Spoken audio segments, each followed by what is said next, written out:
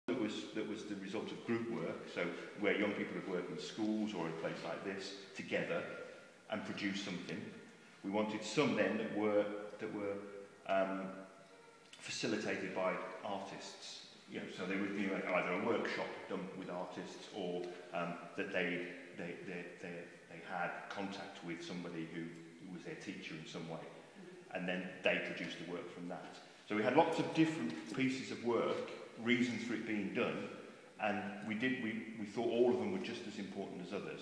Um, so, but we didn't have we had about 150 pieces to look through, and that, that included videos as well as as well as pieces of work.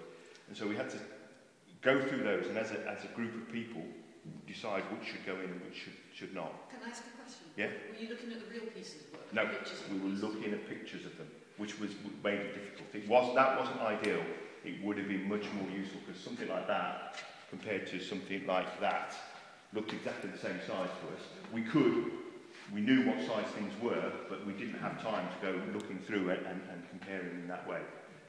So um, I think that we, because of that process, we may have lost a couple of things that we would have done slightly differently.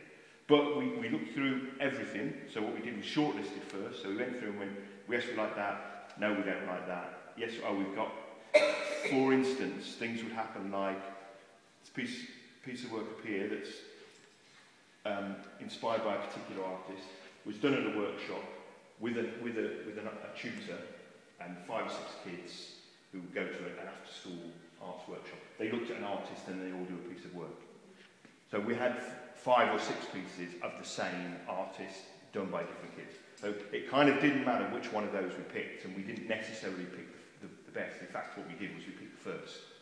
of the, any of those groups. So as soon as we had one of those groups of, of work, we just stuck with that one.